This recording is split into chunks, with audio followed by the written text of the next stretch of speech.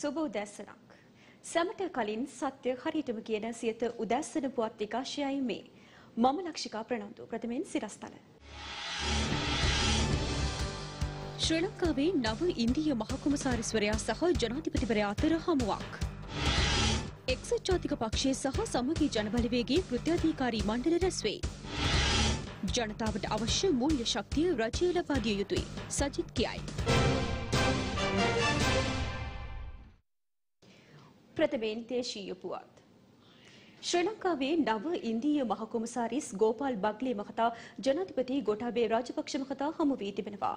ඒ ජනාධිපති කාර්යාලයේදී. ශ්‍රී ලංකාවේ නව ඉන්දිය මහකොමසාරිස් ගෝපාල් බග්ලේ මහතා ජනාධිපති කාර්යාලයේදී ජනාධිපති ගෝඨාභය රාජපක්ෂ මහතා හමු වී තිබෙනවා. ශ්‍රී ලංකාවේ රාජ්‍යතාන්ත්‍රික සම්බන්ධතාවයන්හි ඓතිහාසික කඩයිමක් සනිටුවන් කරමින් පසුගිය මැයි 14 වනදා වීඩියෝ තාක්ෂණය ඔස්සේ ඔහු සිය අක්තපත්‍රය ජනාධිපතිතුමා වෙත පිළිගන්වනු ලැබුවා. හමුවෙන් පසුව කළ සාකච්ඡාවේදී සහභාගීතාවේ නව ශ්‍රේෂ්ඨ විමර්ශනය කරමින් දෙපාර්ශ්වීය සම්බන්ධතා තවදුරටත් ශක්තිමත් කර ගැනීම සඳහා වන දෙරටේ කැපවීම ජනාධිපති ගෝඨාභය රාජපක්ෂ මහතා ඉන්දියානු නව මහකොමසාරිස්වරයා වෙත නැවත තහවුරු කළා. පසුගිය 23 වන සෙනසුරාදා ඉන්දියා අග්‍රාමාත්‍යවරයා සමග දුරකථනින් කළ සුහද සාකච්ඡාව සිහිපත් කරමින් වත්මන් දුෂ්කර අවස්ථාවේදී ශ්‍රී ලංකාව දුන් නොමසුරු සහයෝගය පිළිබඳව ජනාධිපති රාජපක්ෂ මහතා ඉන්දියා රාජ්‍යයට සහ එරට ජනතාවට සිය ස්තුතියද පළ කළා. ඉන්දියා අග්‍රාමාත්‍ය නරේන්ද්‍ර මෝදි මහතාගේ සුබපැතුම් ජනාධිපතිවරයා වෙත පිළිගැන්වූ මහකොමසාරිස්වරයා කොවිඩ් වසංගතයට එරෙහි සාර්ථක සටනට ජනාධිපති ගෝඨාභය රාජපක්ෂ මහතා ලබා දෙන නිවැරදි නායකත්වය දාගය කළා. මීට අමතරව මෙම හමුවේදී ආර්ථික වෙළඳ සහ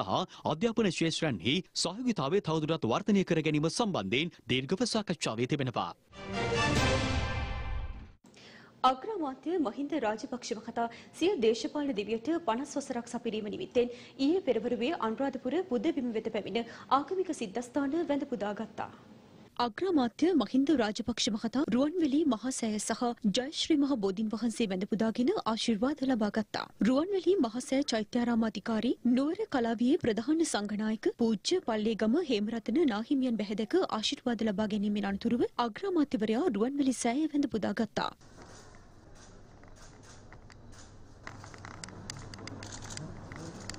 සාවක සංඝෝ යදිදං චත්තාරි පුරිස යුගානි අට්ඨ පුරිස පුද්ගලා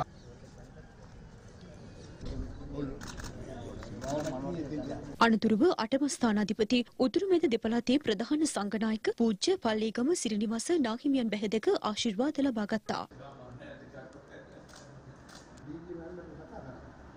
අග්‍රාමාත්‍යවරයා අනතුරුව පැමිණියේ ජයශ්‍රී මහ බෝධීන් වහන්සේ වැඳ පුදා ගැනීමටයි. මෙම අවස්ථාවට අමාත්‍ය එස්.එම්. චන්ද්‍රසේන මහතා සහ හිටපු රාජ්‍ය අමාත්‍ය ශිහාන් සේමසිංහ මහතා ඇතුළු පිරිසක් එක්ව සිටියා.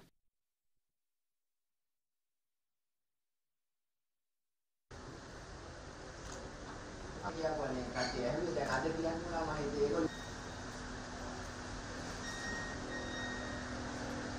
ලෝකා බුදුරජාණන් වහන්සේ අනන්ත බුදුන් සත්‍යයි ධර්මයේ සත්‍යයි සංඝයා සත්‍යයි මේ මහත්කම අවුරුදු 50ක් ආපු ගමනක් නේ රටේ අගමැතිවරයා හැටියට තුනයි ජනාධිපතිතුමා හැටියට දෙපාරයි. ඇමතිකම් කළා മന്ത്രിකම් කළා තාත්තෙක් වුණා නේ ජීවිතේ මහ විශාල කැපවීමක් කරලා ආපු ගමනක්. ඉතින් ඔබතුමාගේ ජීවිතය ගැන නොදන්න අය නැහැ නොදන්න අය කිව්වේ අර මිදි කාලා නැති මිනිහෙක් මිදි ගැන කිව්වේ මිදි තිත්තයි කිව්වේ හැබැයි මිදි කාලා නැති මිනිස්සු තමයි ඒවා ගැන කිව්වේ ඒ වගේ ඔබතුමාගේ ජීවිතය ගැන දන්න මිනිස්සු කවදාවත් එහෙම කතා කරන්නේ.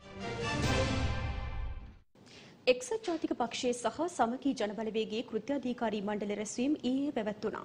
කෘත්‍යාධිකාරී මණ්ඩලයේදී අපි තීරණය කරා විශේෂයෙන් එක්සත් ජාතික පක්ෂයේ ව්‍යවස්ථාවට අනුකූල නොවන පරිදි වෙනත් දේශපාලන පක්ෂ ප්‍රවර්ධනය කරන්න කටයුතු කරන හිටපු මන්ත්‍රීවරු ඉන්නවා නම් හිටපු සංවිධායකවරු ඉන්නවා නම් ඒ සියලු දෙනාගේ සමාජිකත්වය අත්හිටවන්න නානක්. අපි නිදහසට කරුණු දක්වන්න දවස් හතක් කල් දීලා තියෙනවා. ඒගොල්ලන්ට ඒ ගැන මොනවා හරි කියන්න තියෙනවා නම් දවස් හතක් ඇතුළත කිව්වා කියලා. කියන්න පුළුවන්. කවද කවද ඉන්නද? 27 ඉඳන් දවස් හතක්. ඒකෙන් දැන්ට ඒක ඉවත් කරලා තියෙන්නේ.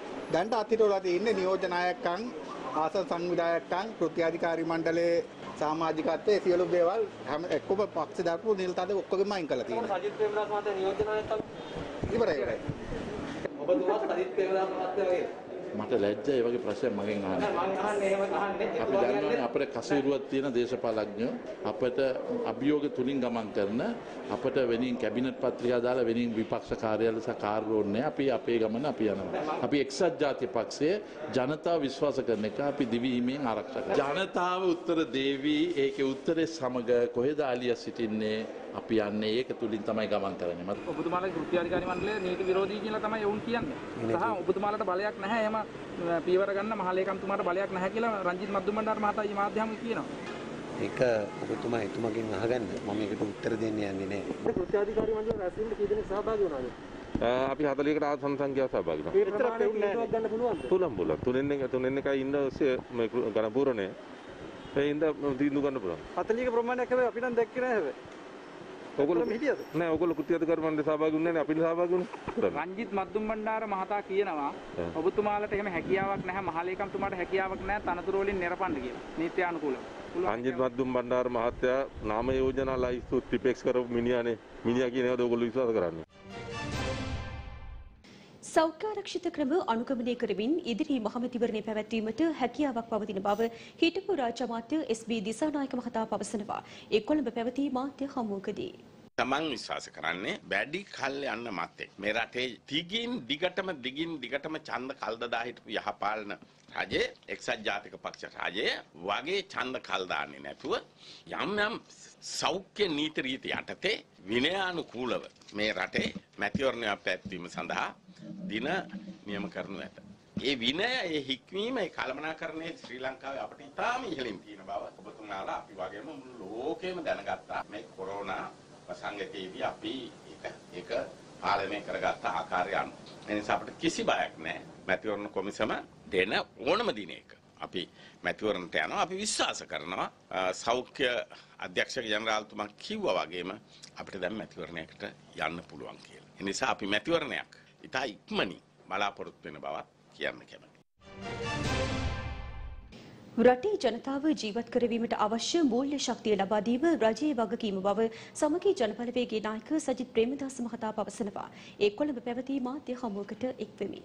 ලෝක සෞඛ්‍ය සංවිධානයේ ශ්‍රී ලංකාවේ ප්‍රධාන නියෝජිතවරියත් සමග සාකච්ඡා කරන්නට මට අවස්ථාව ලැබුණා. අපි පැහැදිලි කරලා දුන්නා මේ වන විට රටේ ජනතාව ඉතාමත්ම අන්ත අසරණ භාවයට පත් වෙලා සිටින්නේ විශේෂයෙන්ම ඇති වී තිබෙන ආර්ථික තත්ත්වය තුළ. අද තිබෙන්නා වූ අයහපත් ආර්ථික තත්ත්වය තුළ රැකියා කරන බොහෝ දෙනෙකුට රැකියා අහිමි වෙලා. එදිනෙදා ආහාර පාන පවා ලබා ගන්නට බැරි අන්ත අසරණ ලක්ෂ සංඛ්‍යාත ජනතාව අද අපේ රටේ සිටිනවා. මෙවන් තත්ත්වයක් තුළ රජය Tamanගේ හැකියාව රටට පෙන්වන්නට ඕන. Taman වගකීම බාරගත්තා නම් රටේ ජනතාව ජීවත් කරවන්නට ඒ අවශ්‍ය ප්‍රතිපාදන, ඒ අවශ්‍ය මුදල්, මූල්‍ය ශක්තිය, සහනය ජනතාවට ලබා දෙන්නට ඕන.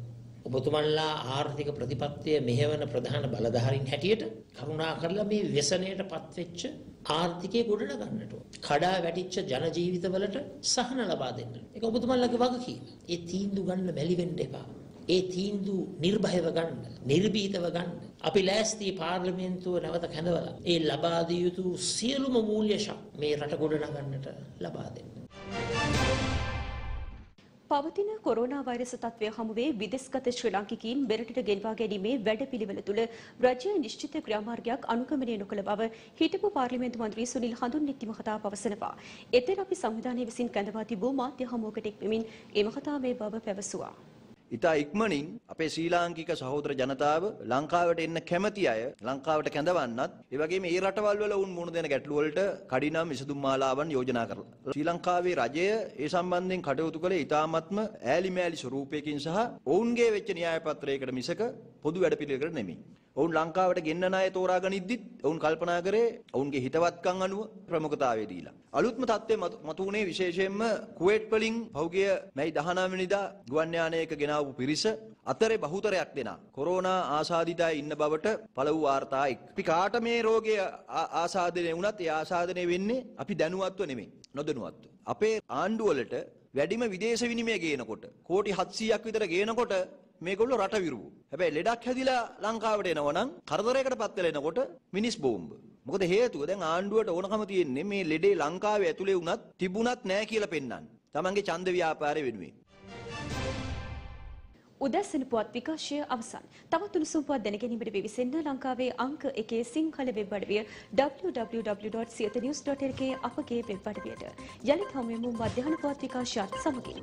ඔබට සුබ දවසක්.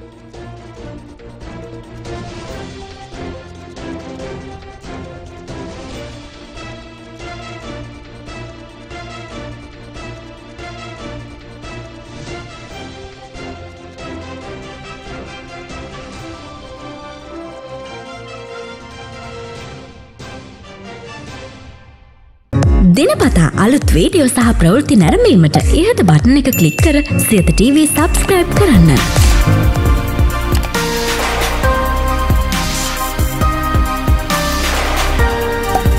අලුත් වීඩියෝ ගැන මුලින්ම දැනගන්න මෙම සීනුව ක්ලික් කරන්න.